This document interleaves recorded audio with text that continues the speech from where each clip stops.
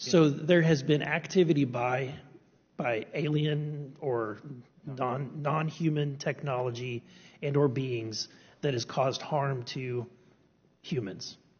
Uh, I can't get into the specifics in a, an open environment, but at least the activity that I personally witnessed, and I have to be very careful here because uh, you don't, you know, they tell you never to acknowledge tradecraft, right? So, what I personally witnessed myself and my wife was very disturbing. Okay.